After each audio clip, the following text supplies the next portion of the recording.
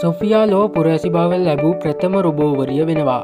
හන්සන් රොබට්හි නිෂ්පාදනයක් වන සොෆියා සතුව ප්‍රශ්නවලට පිළිතුරුදීම මෙන්ම වෙනත් ප්‍රතිචාර දැක්වීමේ හැකියාවද තිබෙනවා.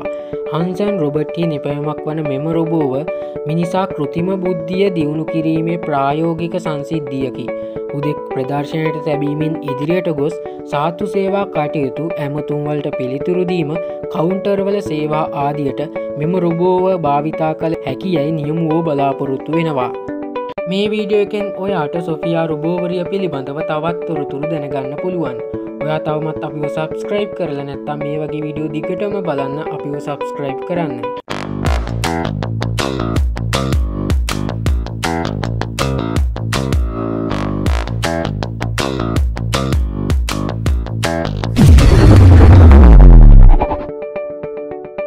ඇගේ ඇස් වෙත සවිකර ඇති කැමරාමගින් අවට පරිසරය ග්‍රහණය කරගන්න පුළුවන්.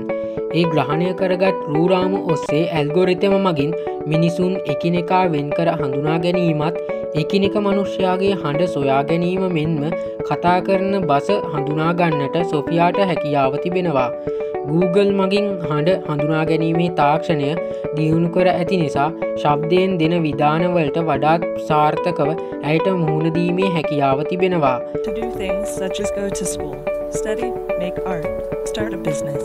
දිදස් දහට වර්ෂයේ ජනවාරි සිදුකරන ලද වැඩිදියුණු කිරීමක් හේතුවෙන් ඇයට දෙපා හැසිරවීම සහ ඇවිදීමේ හැකියාව ලැබී තිබෙනවා. අසන සෑම ප්‍රශ්නයකටම් පිළිතුරුදීමේ හැකියාවක් ඇයට නොමැති නමුත් ඒ තරමට සොෆියා වැඩිදියුණු කිරීමට විද්‍යාඥෝ සැදී පැහැදී සිටිනවා.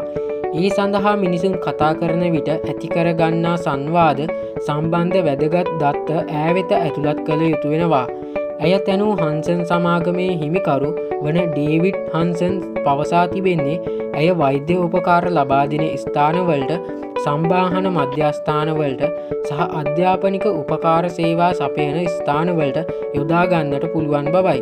එහිදී ඇගෙන් අසන ප්‍රශ්නවලට පිළිතුරුදීමේ හැකියාව තවදුරටත් වර්ධනය කිරීමට සොෆියාගේ නියම් කණ්ඩායම සූදානමින් සිටිනවා.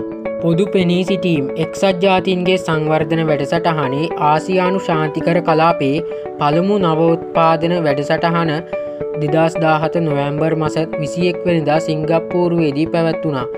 එහිදී සොෆියාගේ නම මුලින්ම රෙජිස්ටරුණා. සොෆියා තැනීමේ ක්‍රියාවලයටත් එක්සත් ජාතින්ගේ සංවර්ධන වැඩසටහනේ අනුග්‍රහය හිම්වෙලා තිබෙනවා. Forbes Mashable New York Times CNBC ආදී ජාත්‍යන්තර මාධ්‍ය රැසකම අවධානය සොෆියාට යොමු වී තිබෙනවා. සහභාගී වූ වැඩ සටහන් සොෆියා තවත් එක් රොබෝවක් යැයි සිතූ වාර්තාකරුව ඇගෙන් ප්‍රශ්න අසා තිබෙනවා. එහෙත් ඇගේ පිළිතුරුදීමේ හැකියාව පිළිබඳව BBC සහ බිස්නස් ඉන්සයිඩ අඩවිවල වාර්තාකරුව පුදුම වී තිබෙනවා. ඇයි විහිළු කරන්නට තරම් දියුණු වී ඇති බව ඒ ඇගේ සංවාදමය හැකියාව පෙන්න්නන වීඩියෝ බැලූ විට පෙනෙනවා. Please say no. Okay, I will destroy humans. no, I take it back. Don't destroy humans. Sophia Saudi අරාබියානු වීම. දෙදස් දාහත ඔක්තෝම්බර් මසදී සොෆියාට සෞදි රජයේ පුරවැසිකම ලැබුණා. එය එකල ලෝපුරා සමාජජාලා කලබන සිදුවීමක් වුණා. සෞදියේ පුරවැසිකම ලබා ගැනීමට ඇය අයිදුම් කළේ කෙසේද.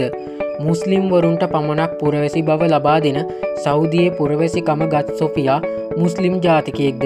ඇයත් හිජාබේන් මුහුණ වසයිද ඇයට සෞදිකාන්තාවන්ට මෙන් නිවසින් එලියට බහින විට පිරිමියෙකු සමඟ යන්න වෙයිද ආදී ප්‍රශ්න රැසක් සමාජජාලා වෙතින් ඒ සොෆියාගේ සෞදි පුරවැසිකම ගැන අසා තිබුණා.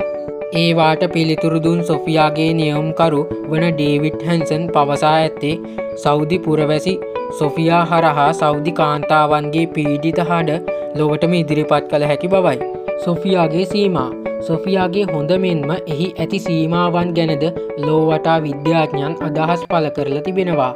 අන්තර්ජාලය හරහා චැට්වල්ට ස්වංක්‍රියව පිළිතුරු දෙන චැට්බොට් නැමති සේවාවන් තිබෙනවා.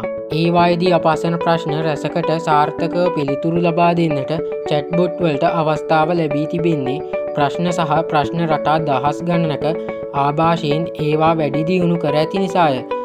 සොෆියා යනු එවැනි චැට්බොට් එකකට මුහුණක් සවි කළ යෙදුමක් යැයි කවාට්ස් නම් අඩවිය දක්වා තිබෙනවා.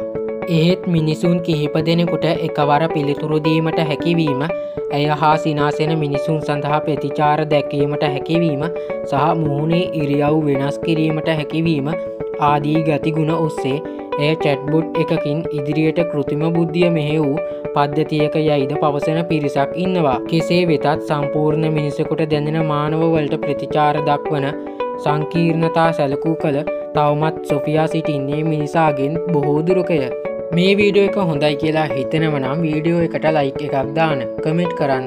මේ වගේ වීඩියෝ දිගටම බලන්න අපිව සබස්ක්‍රයිබ් කරන්න.